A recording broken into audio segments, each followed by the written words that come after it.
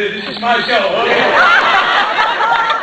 Today, this time we're gonna go through the same thing. We're gonna start slow, then pick up the pace a little bit faster. Right?